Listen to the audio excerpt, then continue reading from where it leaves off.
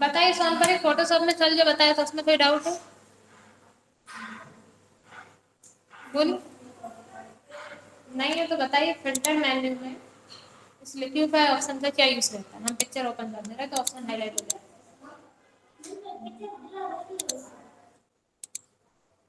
किससे ब्लर इस वाले ऑप्शन से।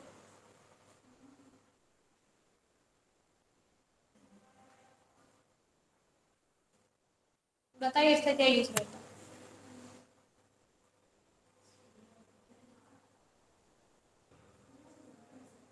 करके बताइए।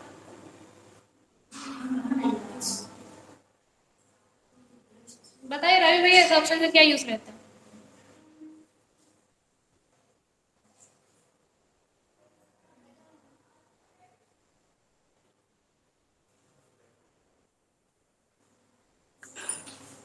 बताइए पीछे सेवानी इस ऑप्शन का क्या यूज़ होता है?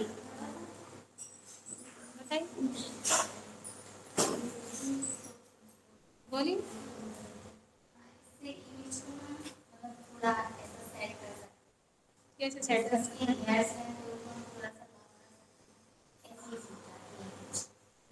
इसी में मतलब इस ऑप्शन किसमें यूज़ किया जाता है? किस पिक्चर में?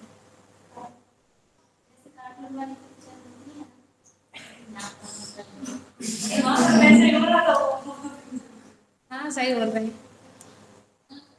ये जो फ़िल्टर मेन्यू रहता है ना, ये क्वेश्चन आपके पेपर में बनता है। कि फ़िल्टर ऑप्शन का फोटोशॉप में क्या यूज़ रहता है? और उसमें आपको ये पूरे ऑप्शन लिख के आने रहते हैं। डी पे में यही क्वेश्चन बनता है।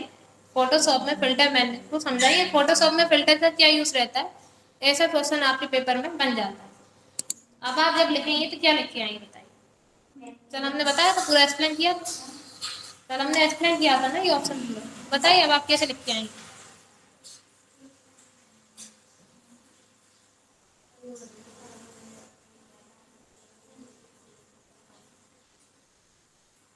किस किस को बता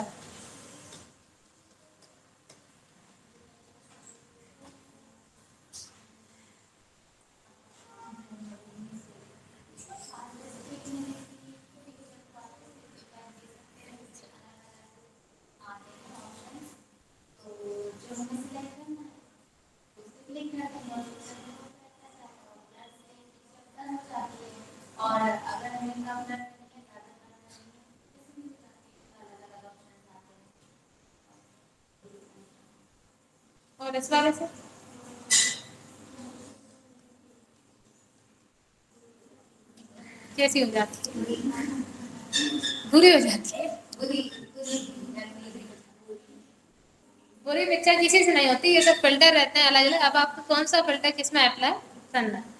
ठीक है तो आप लोग कर लेना है फ़िल्टर मेन्यू। अब हम आपको लेयर मेन्यू बता रहे आप लेयर मेन्यू पे क्लिक करते हैं, सबसे फ़र्स्ट ऑप्शन मिलता है न्यू आप न्यू पे माउस पॉइंटर ले जाएँगे आपके सामने एक लिस्ट यहाँ पे ओपन हो जाती है, जिसमें सबसे फ़र्स्ट रहता है। लेयर आप लेयर पे क्लिक करेंगे तो इस टाइप का डायलॉग बॉक्स ओपन हो जाता है।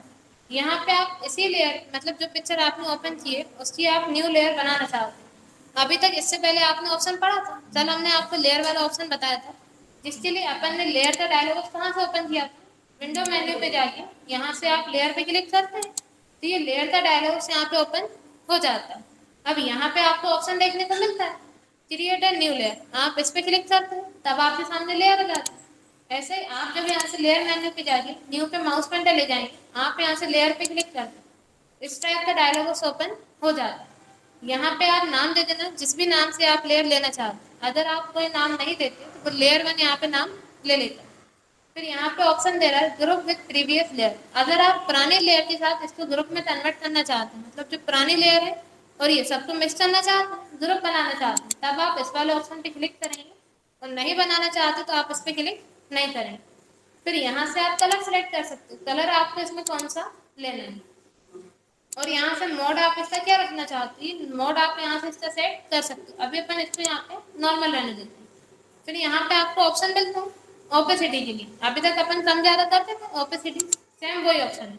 आप इसकी ओपेसिटी यहाँ से कितनी कम रखना चाहते हो ज़्यादा? आप यहाँ से सेट कर सकते हैं। अब आप देखिए अपनी ये नॉर्मल पिक्चर है। अब आप जैसे इसे ओके करोगे, इस पिक्चर में कोई भी चेंजेस नहीं होगा। अभी आप यहाँ से विंडो मेन्यू पे क्लिक करते हैं। यहाँ से आप लेयर पे क्लिक करें देखिए, जो लेयर आपने बनाई थी, वो आपको यहाँ पे शो हो जाएगी। जो लेयर अभी आपने इसकी बनाई थी, जैसे अपन यहाँ से बनाते हैं, अपन यहाँ से क्रिएट ए न्यू लेयर पे क्लिक कर देते हैं। लेयर बन जाती है। सेम वही लेयर आप यहाँ से बना लेते हैं। अब इसमें डिफरेंस क्या रहता है? जो अभी आपने कलर वगैरह अप्लाई किया था, वो आपको यहाँ पे देखने को मिल जाता है।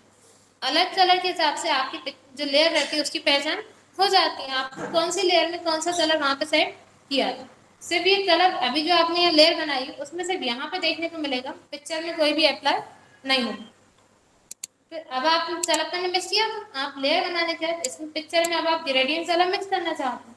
तब आप यहाँ से ग्रेडियंट सिलेक्ट कर लेते हैं।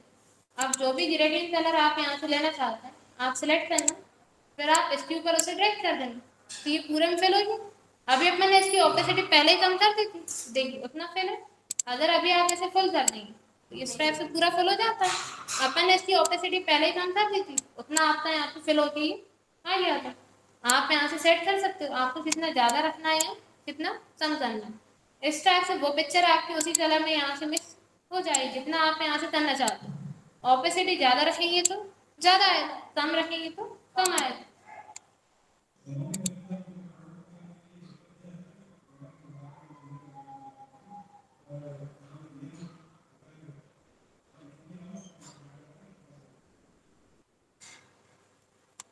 फिर इसमें आपका नेक्स्ट ऑप्शन रहता है यहाँ से लेयर फ्रॉम बैकग्राउंड आप इस पर क्लिक करेंगे, इस टाइप का डायलॉग ओपन हो जाता है। अभी यहाँ पे लिखा आ रहा है लेयर ज़ीरो आप इसे जो भी नाम देना चाहते हैं, नाम दे देना, वरना यहाँ पे लेयर ज़ीरो के नाम से ले लेना। फिर यहाँ पे आपसे कलर मोड पूछेगा। जो भी आप कलर यहाँ से रखना चाहते हो मोड आप जो भी यहाँ से सेट करना चाहते हो। अब आप इसको ओके करेंगे। तो ये क्या करेगा, देखिए पिक्चर में कोई भी चेंजेस नहीं होगा ना यहाँ पे लेयर बन जाए जो आपकी पिक्चर थी, इसी पिक्चर के बैकग्राउंड के उसने यहाँ पे लेयर ज़ीरो के नाम से आपको दे देगा इस ऑप्शन का आप यूज़ करते हैं। जब भी आप किसी पिक्चर में कुछ भी अप्लाई करना चाहते हैं, तब आप यहाँ से लेयर बना लेते इसमें आपका एक ये ऑप्शन मैन रहता है। अपन बनाते थे जैसे अभी आपने इसमें कलर में मिक्स किया था तब आप यहाँ से लेयर वाला ऑप्शन अप्लाई कर लेते हैं। इसमें आपका यूजफुल रहता है सबसे ज़्यादा यही वाला ऑप्शन उसके बाद ये ऑप्शन तो रहते हैं। अगर आप किसी पिक्चर के बैकग्राउंड की लेयर बनाना चाहते हैं, तब आप इस पर क्लिक करेंगे। लेयर को सेट करना चाहते हैं, तब आप इस पर क्लिक कर देंगे। अभी आप वो भी करेंगे कि सेट वन के नाम से यहाँ पे आ जाएगा। और ऐसे अगर आपने किसी पिक्चर को लिंक वगैरह करके उसका फिर सेट बनाना चाहते तब आप इस पर क्लिक करेंगे, वरना आप इन ऑप्शन को यूज़ नहीं करते।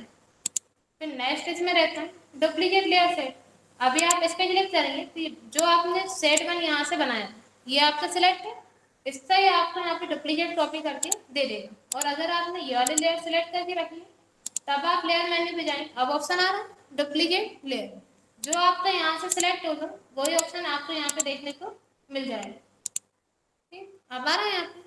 इस टाइप से आप यहाँ से सिलेक्ट कर सकते हैं और यहाँ से आप इसको हाइट और अनहाइट भी कर सकते हैं। इस पर क्लिक करेंगे तो ये हाइट हो जाएगा।